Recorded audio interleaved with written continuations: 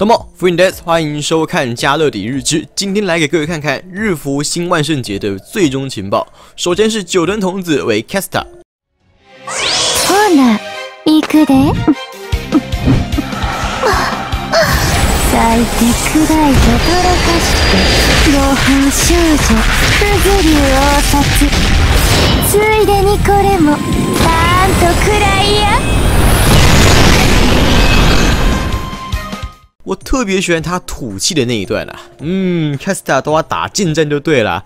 酒吞有望代替美迪亚成为最平民的单体数值了，真的是久等了。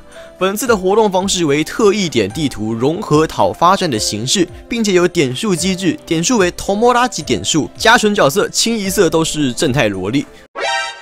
比较值得注意的是，素材有非常新的极光钢素材。主线开放为逐日开放，第一天跟最后一天都会开两话。一如以往的万圣节，本次也有三种礼装可以兑换。狗哥钓鱼，明白人一看就知道是在致敬 H A 中的桥段。Fish，本来讲说啊，大家一定都知道，不用特别讲。但其实 F G O 的萌新其实还蛮多的，还是说一下好了。黑枪傻，万圣节啊，一向都是礼装的关注度最高啊。本次依旧是 Redrop 固定班底。历年的 Redrop 礼装啊，都创造了不少话题。这人其实真的蛮会玩的，欢迎去他的推特看看呢。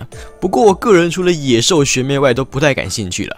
特别是今年的黑枪傻，比去年的还更不喜欢了。唉，可惜。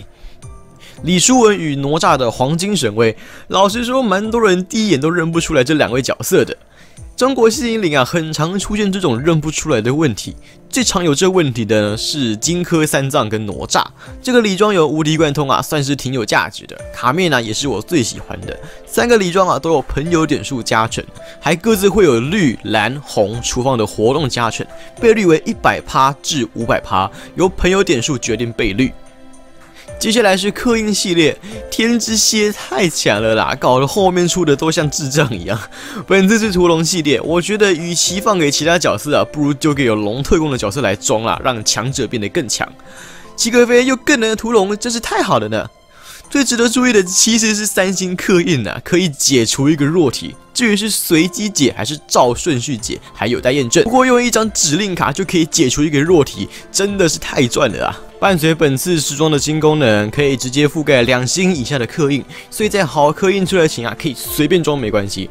另一个是个别设定宝具演出速度，依旧没有宝具 skip，也可以设定初次使用的宝具会等速演出。显示机制的优化，可以看到上次打的关卡打到十字的时候可以用。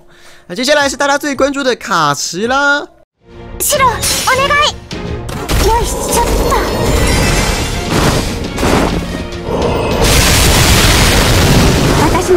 女神たち、力を貸して。お立てして。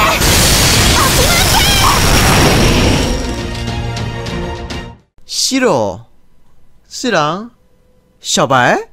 何？